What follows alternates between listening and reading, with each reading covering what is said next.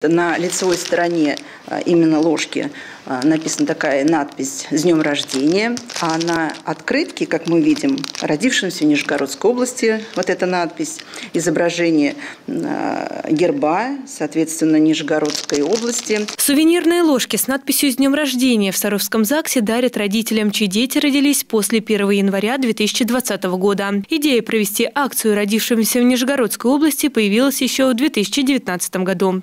Планируется она э, не один год, а, вообще, насколько мне известно, э, на три года. Может быть, и дальше продлят, не знаю. Но вот э, пока такая акция существует, и мы с большим желанием будем вручать эти ложки с надеждой, что пусть это маленький сувенир, но он памятный. Уникальный он даже еще и тем, что это же не просто сувенир, который действительно можно хранить, а, но и любой малыш в дальнейшем может воспользоваться как своим личным предметом, то есть ложкой для приема пищи. Акция родившемуся в Нижегородской области приурочена к 800-летию Нижнего Новгорода и десятилетию детства, объявленному в России. Органы ЗАГС начали вручать сувенирные ложки с 20 марта. В Сарове их получили более 15 родителей. Одной из первых подарок для своего малыша забрала Юлия Большакова. Я удивлена потому что я об этом не знала.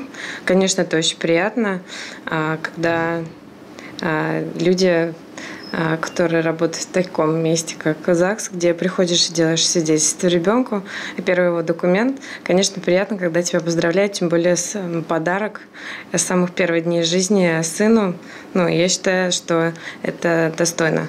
Те родители, кто зарегистрировал рождение малыша в этом году, но не получил сувенир, могут прийти в отдел ЗАГСа с документами. Более подробную информацию можно получить по телефонам 55929, 55922. Ирина Вышегородцева Евгения Шевцова, Александр Мальков. Служба новостей Саров 24.